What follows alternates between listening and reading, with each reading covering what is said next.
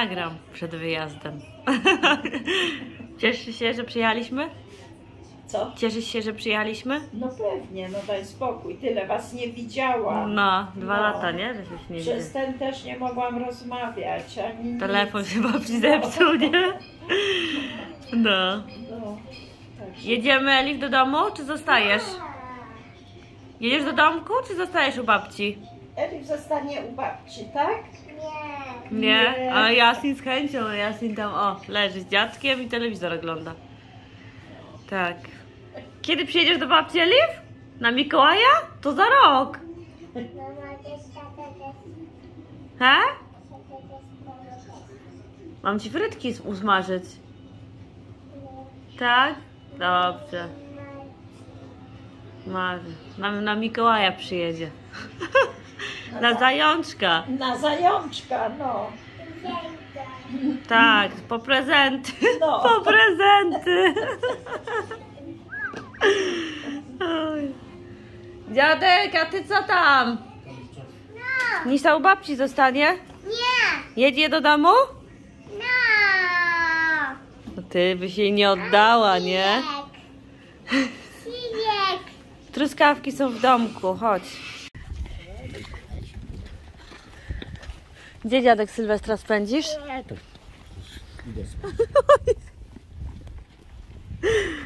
Babcia, a ty gdzie spędzisz Sylwestra?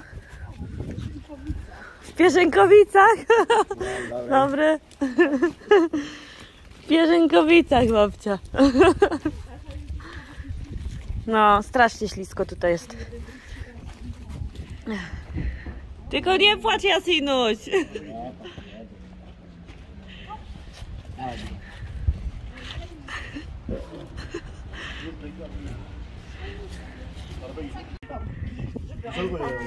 O Jasi, stój, bobki.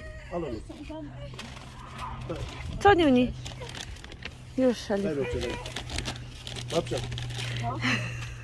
Babcia nie słyszy. No.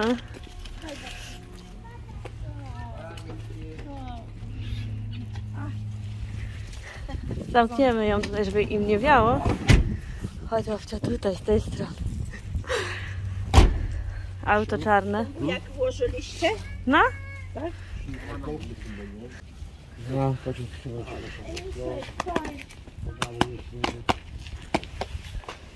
Babcia.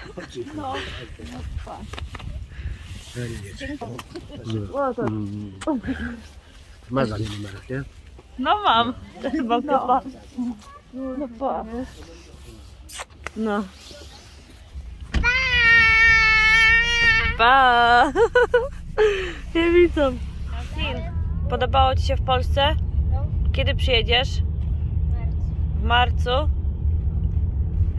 Wyjeżdżamy z Polski. Urlop był taki krótki, intensywny, tak jak Wam wspominałam, ale było fajnie. Eee, nie zobaczyłam się z większą w ogóle e, ilością moich e, znajomych i nawet nie widziałam mojej rodziny, bo to są święta i wiadomo, każdy ma tam gdzieś męża, żonę i idzie do rodziny, do teściów, dziadków i tak dalej, więc no nie, nie, byłam, nie byliśmy w stanie się spotkać tak, jakbyśmy chcieli się spotkać.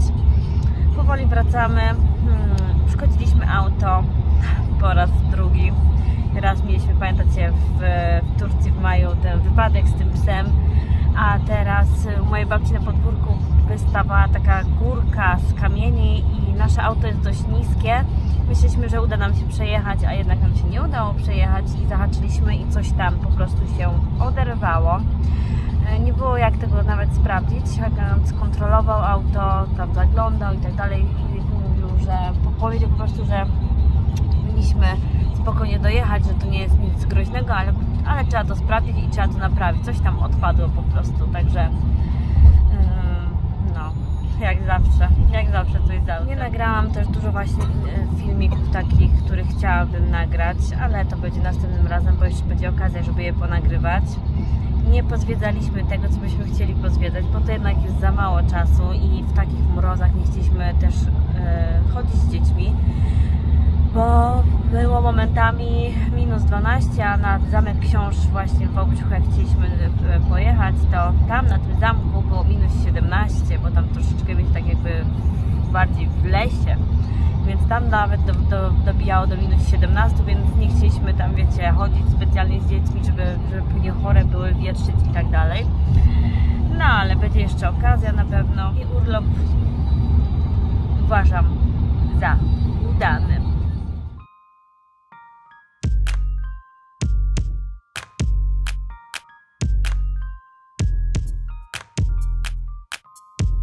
Hakan idzie z Jasinem do Izmir Market. To jest taki turecki market w mieście Hof, bo już jesteśmy jakieś 50 km od domu. Idę kupić turecki chleb, bo Hakan się stęsknił za tureckim chlebem. I e, troszeczkę mięsa, żeby teraz nie odmrażać, abyśmy chcieli sobie zrobić jakieś tureckie danie. Także poszli właśnie na zakupy. A czemu poszli tylko oni? Bo e, zasnęła i Elif, i zasnął Enis. Mała nie śpi. E, I dlatego siedzę w aucie. Zresztą też nie mam siły, żeby wychodzić. Powiem Wam, że ta, te drogi jednak męczą. Chyba się starzeję. Chyba się starzeję. Bo tak uwielbiałam zawsze jeździć, a teraz to tak jest dla mnie troszeczkę męczące. Pomimo tego, że mamy niez, niezbyt dużo kilometrów, to jednak, jednak się męczę. Achow to jest takie nieduże miasto, ale jest tutaj bardzo dużo tureckich restauracji różnego rodzaju, potantuni, kebaby, jakieś tam, no wszystko. E, turecki market, jakieś tureckie, turecka odzież. Także jest tutaj bardzo dużo właśnie Turków w tym, w tym mieście. No i mają taki fajny turecki swój markecik, także zawsze można tutaj wszystko dostać u nich i cenowo jest nawet, nawet tak przystępnie można Co tam powiedzieć. Mm. Boli oczko? Nie. Już nie boli. Kropelki jeszcze bierzemy, tak? Do oczka, tak? Jeszcze czerwone ma te oczko. No zobaczymy, musimy zrobić tutaj kontrol. Zobaczymy, co tutaj powie e, okulista. Poczynili zakupy.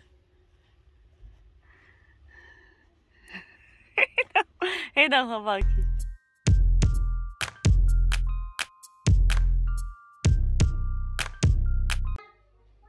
Jeszcze raz. Cześć, witam. Cześć, witam. Jasim wam mówi. My już na naszych starych świeciach jesteśmy w domku. Dojechaliśmy. Fajnie było w Polsce, ale w domku to w domku, nie? No. Buzie masz brudną miasy z jedzenia.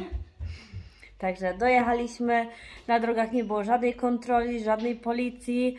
E, droga była... E, to nie pij już ajranu.